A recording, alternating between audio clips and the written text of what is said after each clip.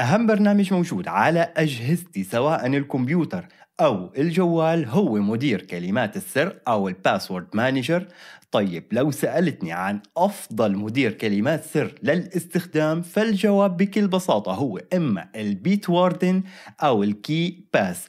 أي برنامج أو أي مدير كلمات سر ما عدا هدول البرنامجين خارج المعادلة السبب بكل بساطة لأن الاثنين مفتوحين المصدر ومعايير الأمان الموجودة فيهم لا يعلى عليها. أما لو سألتني أي واحد من هدول الاثنين استخدم ال Bitwarden أو ال KeePass فلو كنت عم تدور على السهولة والشيء التقليدي مقابل إنك تحط كل ثقتك بمعايير الأمان اللي بتستخدمها الخدمة السحابية فرح نقول ال Bitwarden هو الخيار الأفضل بالنسبة لك أما لو كنت بتفضل إنه خزنة كلمات السر تكون محفوظة على جهازك بشكل local وأنت مستعد وعندك الصبر لأنك تقوم بعملية مزامنة هي قاعدة البيانات بين أجهزتك المختلفة بشكل يدوي فبهي الحالة رح يكون ال KeePass هو الخيار الأفضل بالنسبة لك واللي هو أنا بستخدمه شخصياً. للأمانة ولحتى ما نظلم ال Bitwarden فأنت ممكن أنك تثبت الخدمة أو برنامج ال Bitwarden على server خاص فيك وبهي الحالة قاعدة البيانات أنت رح تكون مالكها. بس كمان أنت اللي رح تكون مسؤول عن كيفية تأمين وتشفير الخزنة أو قاعدة البيانات. هذا الخيار لا يعتبر خيار مناسب لأغلب الناس لأن أغلب الناس ما رح يكون في عندها الخبرة عن كيفية تثبيت ال server ال server أو تثبيت البرنامج أو تأمين قاعدة البيانات. فبهي الحالة رح يكون الخيار الملائم للأعمية للأغلبية هو الاعتماد على سيرفرات بيت ووردن بحد ذاتها. اتركولي بقسم التعليقات هل بتستخدموا مدير كلمات سر ولا لا؟ شو هو مدير كلمات السر المفضل عندك اللي بتستخدمه؟ هل بتستخدم نفس كلمة السر لكل المواقع اللي بتدخل لها أو الحسابات اللي عندك ولا بتستخدم كلمات مختلفة؟ وشو هو الطول الوسطي لكلمة السر اللي عمالك تستخدمها على مواقعك أو ال master password لمدير كلمات السر؟ فهلا الناس اللي بدها جواب مختصر صار بإمكانها إنها تترك الفيديو بعد ما تضغط زر ال like.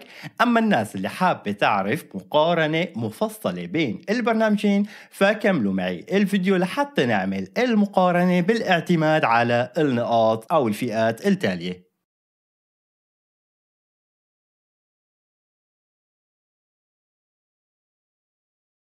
بالنسبة للتكلفة فالفائز بكل تأكيد بهي الفئة هو ال KeePass اللي هو برنامج مجاني بالكامل وما بيتطلب مني دفع أي مبلغ أو أي اشتراك للحصول على كافة المميزات. فعلى الرغم من أنه ال Bitwarden هو برنامج مفتوح المصدر وبيقدم لي نسخة مجانية مدى الحياة ممكن أني أستخدمها بس في حال كنت بدي أحصل على بعض المميزات أو الميزات ال premium اللي رح نحكي عنها بعد شوي فأنا لازم إني أدفع اشتراك شهري لأحصل على هي الميزات. هلا لحتى نكون آه، منصفين فأغلب المميزات البريميوم يعني 90 أو 95% من الناس ما رح تحتاجها. وحتى أنت إذا كنت بحاجة لهي الميزات فالاشتراك الشهري يعني بمتناول اليد وما بكلف أكثر من دولار شهرياً. بالنسبة لسهولة الاستخدام والتصميم فالرابح بهي الفئة هو ال Bitwarden اللي بيقدم لي برامج أو clients رسمية first party لكافة منصات التشغيل اللي ممكن إني أستخدمها سواء كان Windows سواء كان Linux سواء كان Mac Android iOS فأنا في عندي برامج لكل هي المنصات وبواجهة عصرية وتقليدية ما بتختلف عن أي مدير كلمات سر ممكن إنك تكون عمال استخدمته بالماضي أو عم تستخدمه حاليا مثل ال 1Password أو ال LastPass وكمان بيقدم لي البرنامج كبرنامج كتطبيق ويب في حين إنه بحالة ال KeePass فأنا لازم إني أستخدم برنامج مختلف لكل منصة تشغيل عمالي أستخدمها. و بين برنامج والتاني رح شوف إنه الواجهات ما رح تكون متطابقة. آه بعض البرامج بتقدم ميزات ما لها موجودة ببرامج تانية فعلى منصات Linux و Windows و Mac فأنا بستخدم ال KeePassXC. أما على Android فأفضل خيار اللي هو ال KeePassDX بحالة ال KeePassXC أنا كنت عامل فيديو منفصل آه وحكيت بالتفصيل عنه. ممكن إنك ترجع له رح أتركه برابط بصندوق الوصف. أما بحالة أجهزة آي أو إس فللأسف لا يوجد أي برنامج مجاني 100% وإنما رح يكون مشابه لحالة البيت ووردن في عندي نسخة مجانية ونسخة مدفوعة أو اشتراك شهري للحصول على بعض الميزات بس من حيث البحث اللي أنا عملته عن هي البرامج فأفضل آه، خيارين ممكن يكونوا إما ال Strongbox أو ال KeePassium هلأ أنا ما استخدمت أي واحد من البرامج المخصصة لل iOS فما راح أعطي أي رأي شخصي عن هي البرامج.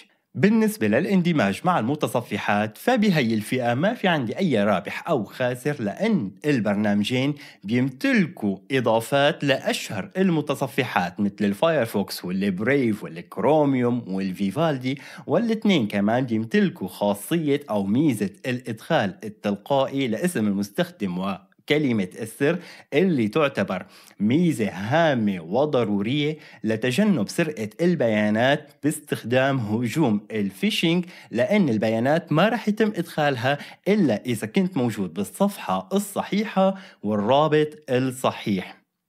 بس كمان لازم ننوه لأنه لأن ال KeePass أو ال KeePassXC باعتبار إنه الخزنة موجودة بشكل locally على الجهاز فهي الخزنة أو قاعدة البيانات لازم إنها تكون مفتوحة بمعنى إنه ال KeePassXC يكون مفتوح لحتى تكون قادر إنك تستخدم الإضافة بالمتصفح. في حين إنه ال Bitwarden فأنا بيكفي إني أعمل تسجيل دخول على حسابي لحتى أكون قادر مباشرة إني استخدم إني أفتح الخزنة الخزنة واستخدمها وما في داعي إني أفتح البرنامج. كمان بتاريخ تسجيل هذا الفيديو. إذا كنت عمالك تشوف الفيديو بالمستقبل فممكن هذا الكلام يتغير بس بتاريخ تسجيل هذا الفيديو إذا أنت كنت بتستخدم Linux وكنت بتستخدم المتصفح سواء ال Firefox أو الكروميوم أو ال Brave كنسخة Flatpak ف إضافة المتصفح غير متوافقة مع ال Flatpak. إذا كنت عمالك تستخدم المتصفح كنسخة native أو مثبتها من مدير الحزم فالبرنامجين بيشتغلوا والإضافة بتشتغل وما فيها أي مشاكل. هل تعتبر مشكلة كبيرة؟ أكيد لا لأنه أنا لسه ممكن أني أعمل copy paste من ال KeePassXC مباشرة لكلمة السر واسم المستخدم بس لابد من التنويه لها. هذا الموضوع. أما بالنسبة لمزامنة قاعدة البيانات بين الأجهزة المختلفة فالرابح بهي الفئة بكل تأكيد ما بدها اثنين يحكوا فيها اللي هو ال Bitwarden. لأن بالأساس قاعدة البيانات موجودة بسحابة ال Bitwarden بحد ذاته أو بالسيرفر الشخصي الخاص فيني. أما بحالة ال KeePass فأنا باعتبار أنه الخزنة أو قاعدة البيانات هي عبارة عن ملف أنا حافظه على جهازي فأنا المسؤول عن نسخ هذا الملف على كل واحد من الأجهزة اللي بستخدمها لحتى أكون قادر أوصل لقاعدة البيانات. هلأ الحل البسيط لهي المشكلة طبعا ما لها مشكلة كبيرة وحلها بغاية البساطة ألا وهو أني أحفظ هذا الملف أو قاعدة البيانات أحفظها على أحد خدمات التخزين السحابي اللي ممكن يكون عمالي استخدمها مثل ال Nextcloud مثل ال Google Drive مثل ال Dropbox فبهي الحالة كل ما أعمل أو أضيف مدخل جديد لقاعدة البيانات باعتبار الملف موجود على السحابة فرح يتم مزامنته بين كافة الأجهزة بكل أريحية وسهولة.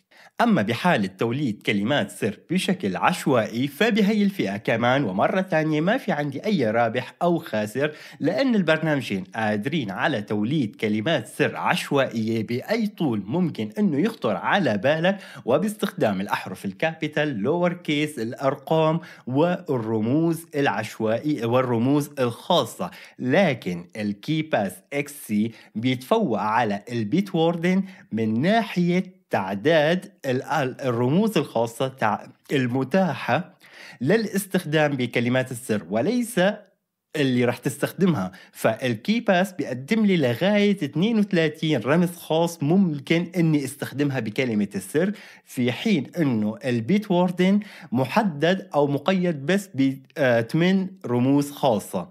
هلأ هل هذا الكلام بيجعل من كلمة السر اللي بولدها مع ال Bitwarden أقل قوة من ال KeePass أكيد لا. لأن حتى مع 8 رموز متاحة للاستخدام. أنا ما زالت كلمة السر اللي عندي قوية طالما إني حاططها بطول مناسب مع أحرف capital lower case أرقام ورموز خاصة.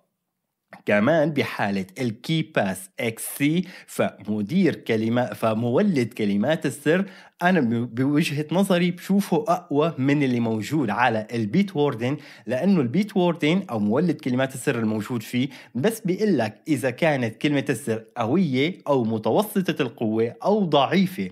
في حين إنه ال KeePassXC وقت اللي بتولد كلمة السر رح يعطيك رقم انتروبي ما رح نشرح شو هو الانتروبي اللي بيعطيك اللي بيقول لك قد إيه مدى قوة هي الكلمة. وكمان بهذا مولد الكلمات اللي موجود على ال KeePassXC أنت بدل ما تولد كلمة سر ممكن إنك تحط كلمة السر الخاصة فيك اللي أنت بدك تستخدمها لنقول ال master password وهو رح يعطيك مدى قوة هي الكلمة. في حين إنه هي الميزة ما لها موجودة بال Bitwarden أما بالنسبة للميزات الإضافية فالرابح بهي الفئة ألا وهو ال KeePassXC لأنه مثل ما حكينا فالبرنامج مجاني بالكامل وما بيتطلب مني أي اشتراك للحصول على الميزات البريميوم. مثل على سبيل المثال إضافة الملفات الملحقة للمدخل الموجود بقاعدة البيانات أو إمكانية توليد ال TOTP أو ال Time One Time Password اللي هي كلمات السر الصالحة للاستخدام لمرة واحدة بالاعتماد على الزمن أو إمكانية استخدام مفتاح أمان أو مفتاح أمان فيزيائي مثل فلاشة يوبي يوبي كي هي اللي أنا بستخدمها. فهي الميزات آه، بحالة البيت ووردن أنا ممكن أني أحصل عليها ولكن بالنسخة المدفوعة وليس بالنسخة المجانية.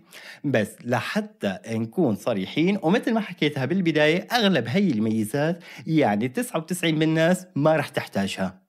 أما الفئة الأخيرة بهي المقارنة فهي فئة الأمان والخصوصية. فمثل ما حكينا بالبداية البرنامجين مفتوحين المصدر وبالتالي أي شخص عنده الخبرة والصبر والوقت لأنه يطلع على الأكواد المصدرية أو السورس كود لهي البرامج ممكن أنه يطلع عليها ليتأكد أنه ما في عندي أي أبواب خلفية عمالهم يستخدموها لحتى يقوموا بتسجيل أو أو سرقة بياناتي الشخصية. أما من ناحية الأمان فالبرنامجين بيستخدموا معايير تشفير معقدة ومتقدمة بشكل كبير وبالتالي فإمكانية اختراق قاعدة البيانات أمر صعب جدا. ليس مستحيل ولكن صعب بشكل كبير. بس مثل ما حكينا بالبداية بحالة البيت ووردن فأنت حاطط كل ثقتك بمعايير الأمان والتشفير اللي موجودة على سيرفرات البيت ووردن أو على سيرفرك الشخصي إذا أنت كنت عارف كيف تعمل له تشفير وتأمين بشكل كبير.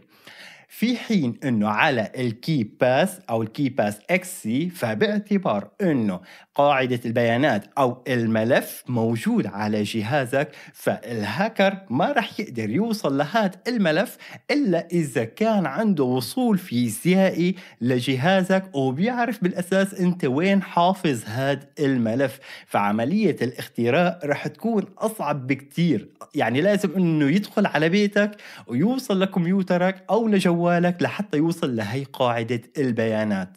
وكمان وحدة تانية من نقاط من من نقاط الأمان أو ميزات الأمان الموجودة بالبرنامجين إنه البرنامجين بيستخدموا خاصية التوثيق الثنائي أو التوثيق المتعدد ال two factor authentication أو ال multi factor authentication بس بيقوموا فيها ب طريقة مختلفة فبحالة ال KeePassXC فهو إما بيستخدم مثل ما حكيت المفتاح الفيزيائي مفتاح الأمان الفيزيائي مثل فلاشة ال YubiKey اللي أنا بستخدمها شخصيا أو ممكن إني يكون في عندي ملف أمان أو ملف مفتاح البرنامج ال KeePass ما بيفتح إلا إذا أعطيته هذا الملف وهذا الملف لازم يكون موجود على كل واحد من الأجهزة اللي بيستخدم عليها قاعدة البيانات. في حين إنه ال Bitwarden فهو بالنسخة المجانية بيستخدم التوثيق الثنائي إما باستخدام مولد آه، إما باستخدام برنامج authenticator برنامج مصادقة مثل ال Google Authenticator أو عن طريق الإيميل. فعلى الإيميل رح يوصلك الكود اللي بيتألف من ست خانات اللي بتدخلها بالمرحلة الثانية من التوثيق. أما بالنسبة لمفتاح الأمان الفيزيائي أو فلاشة اليوبي كي فهذا موجود فقط بالنسخة المدفوعة. فهيك بتمنى اني اكون وضحت التشابهات والاختلافات بين البرنامجين ومثل ما حكيتها بالبداية أنت بتقرر شو هو البرنامج الأفضل أو الملائم بشكل أكبر إلك. بلتقي فيكم بالفيديو الجاي وبأمان الله.